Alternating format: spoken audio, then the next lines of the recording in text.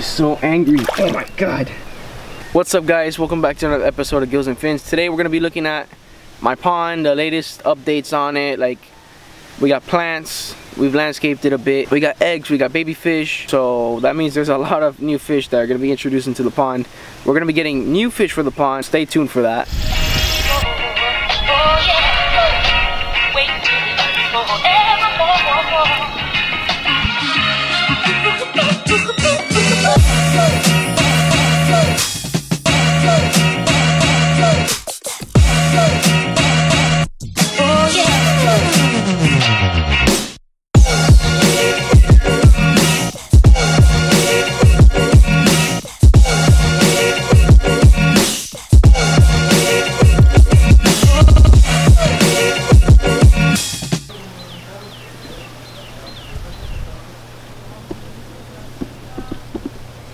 So you can see the eggs all right there. That's my new Oscar. And my older new Oscar. Which I'm guessing that's the male. He gets so angry.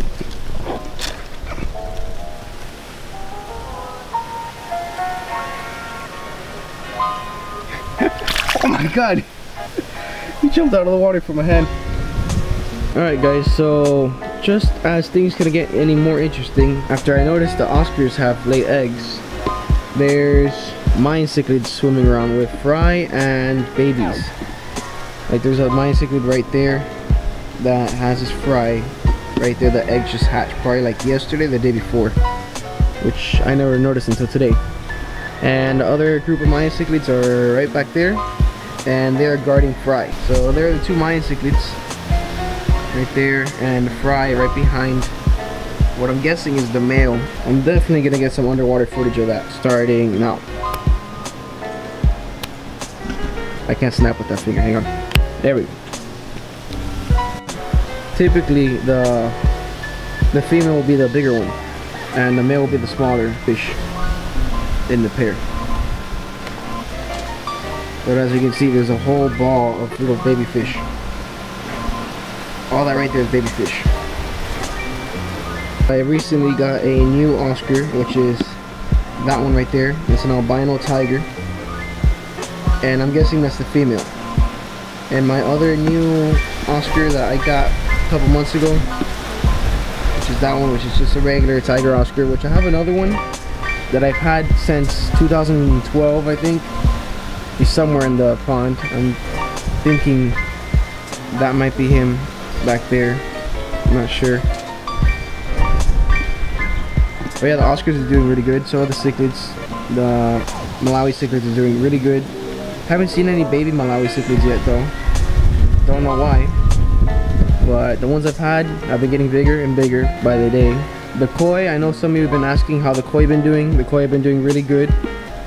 They're all in that group right there.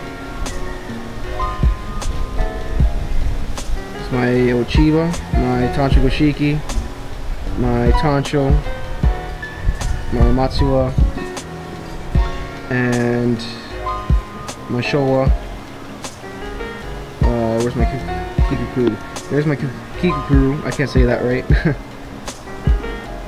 uh, my Kohaku somewhere right there. That's my Kohaku. And I don't know the names to all the other ones. But I'm learning. They are all doing really good. They've been growing really big, really fast. Some of them are on the 14, 15 inch range already.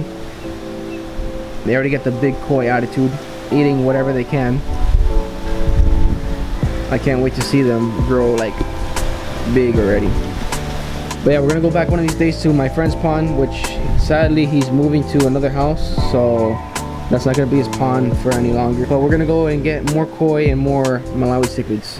There's also more cichlids like Tropheus, the Malawis. I'm not sure the proper name of them, but I guess the electric blues. We're gonna get more of those. The electric yellows, I think they're called too. So yeah, we're gonna restock this pond again for like the third time. So we're gonna get the fish today with the cast net. Again, I know you guys don't really like that. This is the best way I think that we can catch them. We don't have any other like style nets or anything. The other way I could catch them is with a rod and line and a hook, which the odds of them eating again are very low. I think this is the best bet. I've caught fish with the cast net and the same day they start eating. So if I catch them with a hook and line, they will probably start eating in three days or never again. So best bet right here, the cast net. We already got the coolers loaded up with water, ready to go.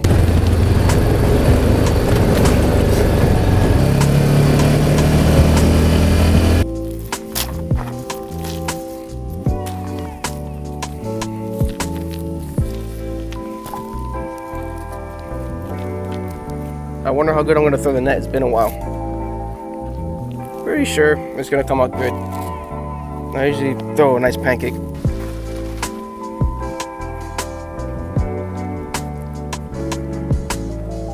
Oh, I like that one. That one's sick.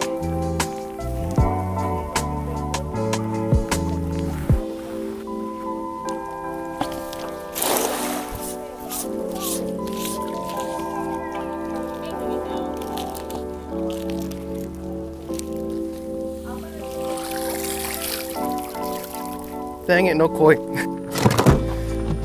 Alright. Here we got a bunch of Malawi cichlids from them all in the cooler.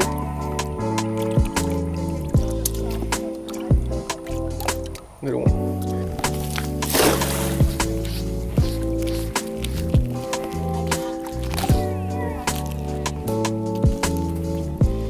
Here we go.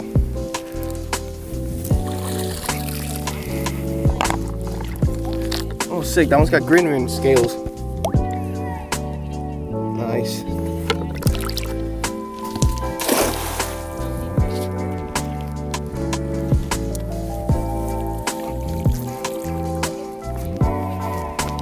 Here we go.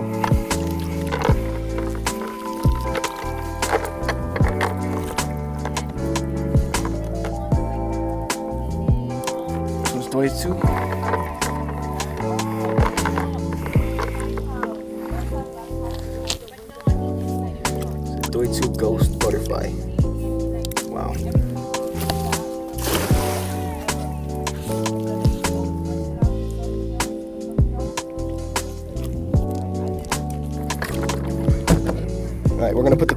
That cooler and the cichlids in this one. This one's nice. Very nice koi. Doitsu Butterfly. I think this is a Sanke.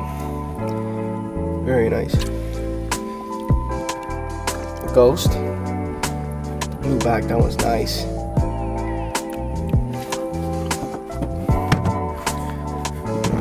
Guys in here.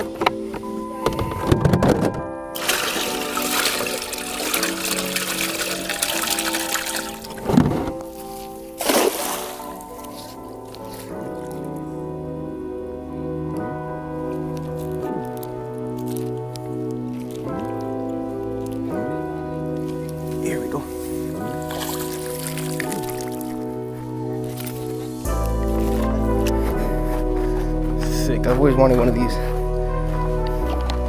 Say Kage Shiro butterfly.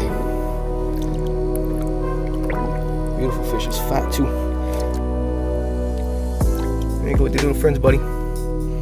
Wow.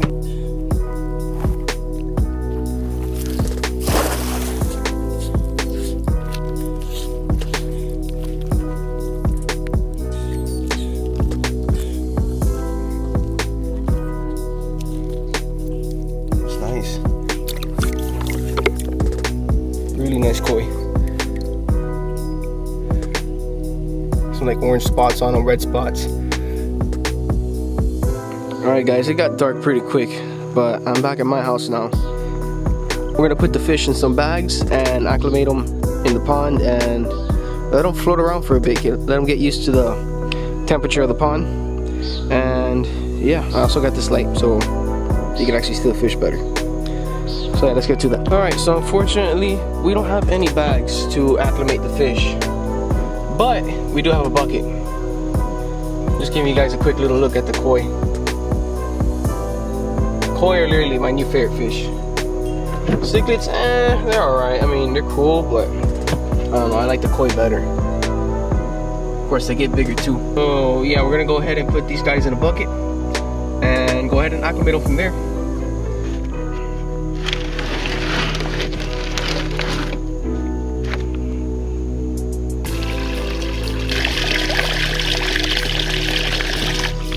Think that's more than enough water. I'm gonna have to actually dump some of it out.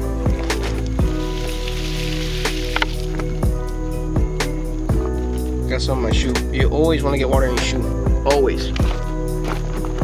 Start off with the small ones first.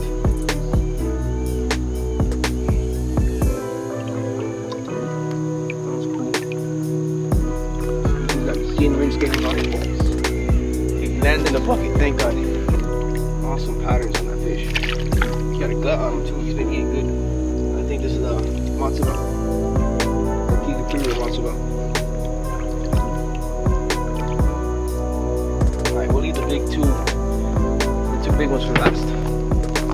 One last look at them.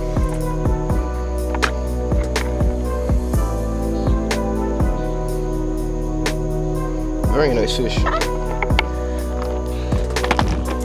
Alright, so I think I'm gonna go ahead and release them into the pond. I think it's been long enough that they've been acclimating. And the water temperature seems to be around the same. There goes the Ginrin Sanke, which I think that's a Sanke. Correct me if I'm wrong. A butterfly ghost. Again, correct me if I'm wrong. I'm still learning this, guys. Not sure what that one is. I think this one's a Kikukuru and a Matsuba. So, mm, there they go. There goes that one. We'll swim off in a second.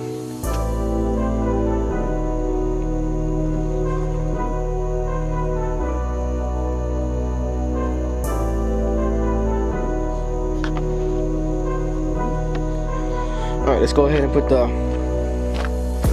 Chagoi and uh, I always forget this one. I always get confused with the Shiro Utsuri. I mean the yeah, the Shiro Utsuri. This is a Kage Shiro. Butterfly Kage Shiro.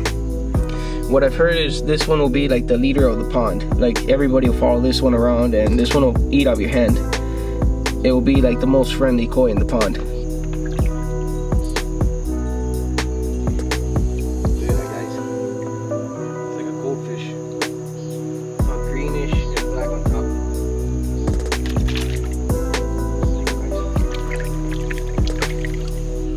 Black spot on his head?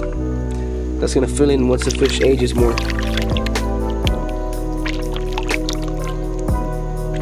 So eventually it's gonna look like it's back.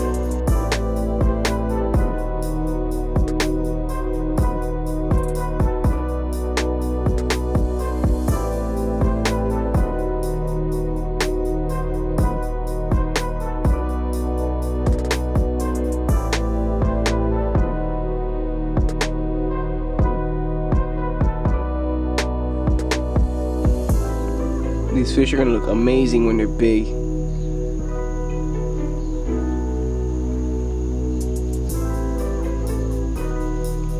But let's go ahead and add the African cichlids. I know a lot of you guys have been waiting on this. Alright guys, so we're gonna go ahead and put these guys in the pond.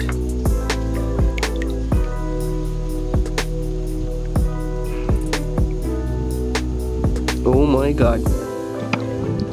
It's a cloud of them. I already had a cloud in here before. Now there's even like now there's an even bigger cloud.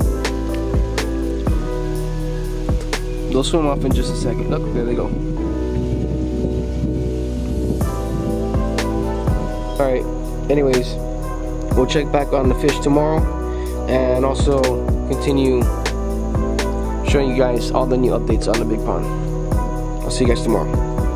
Alright, welcome back guys. It's probably been close to a week since we've added the fish to the pond and The koi are doing amazing. They've been getting bigger and bigger by the day. I've been uh, feeding them different food that I've been mixing myself. I've been getting, um, why don't I show you? Hang on. So what I've been doing is I've been mixing all the cichlid food with the koi food into here, which the koi food. Okay, so the protein, it's 28% on this bag. And for this one, I think it's around like 40%. 47% protein. And this one is 42% protein. So with all that, I think we're gonna have some monster koi very soon. Alright, anyways, let's get back on subject here. So the tiger oscars, they unfortunately lost their eggs, but I don't know what happened. They laid eggs again, which you can see them all right there. As you can see, they're they're very angry fish. all I do is stand here sometimes. They try to jump out of the water. They're very funny. But yeah, the water's a little bit turned up right now due to all the koi eating on the bottom. They stir up all the sand that's on the bottom, but if not, it will be crystal clear. And for the Maya cichlids, they've been doing pretty good. Uh, the fry ball has dropped in numbers pretty quick, which is also a good thing because we don't want to have an overpopulated pond with just Maya cichlids. Those things will overpopulate the pond, just like all the Malawi cichlids here too. Alright, so now let's move on to the landscape part of the pond. So what we did is we got a drill and we drilled in holes into the rock and then we put in these little bromeliads and um, it looks pretty cool. We put the buddha there. We got another buddha over there hiding in the rocks. So we pretty much landscaped the whole waterfall with just bromeliads like we put some around there. Anywhere you look you see a bromeliad. Which is pretty cool. And we also did the same thing for these big stones that are right here in the pond. You can see. We drilled a big hole and then we planted the bromeliad into the rock. And then they eventually root into the rock and then they they're pretty much stuck. Pretty simple. But for all the ferns that you see around like these those have grown by themselves. Every single one of them. None of them was planted on the pond like back there has been overgrown. We're gonna have to pull some of that out. Which I don't know I kind of like it. it it looks pretty cool. Looks more natural that way. Anyways guys this pretty much concludes this video. I hope you guys enjoyed it. Make sure you like and comment down below what do you want to see uh, me do with the pond? There's plenty of things we need to do to it which I know we got to do some aquatic plants. That's been on the list for a bit. We got one over there but it's not really an aquatic plant. so you guys let me know down in the comments what do you want to see with the big pond. I gotta I got some more plans though. We're gonna be making another pond soon. We're gonna be doing feeding videos on the big pond itself, on the bass pond, on the mini pond, which a lot of you guys think that the fish are dead. Yeah, some of them died, which there's like four or five left, but they died, I guess, because of the raccoons. I'm not sure. I do have raccoons that come and take the fish every once in a while, which thankfully they haven't gone to this one. They haven't figured out this fish in here yet. If not, we would have had a problem. Uh, probably more stocking videos. I want to get another fish for the mini bass pond. So stay tuned for that. Anyways, thanks for watching guys. I'll see you guys in the next video. Peace.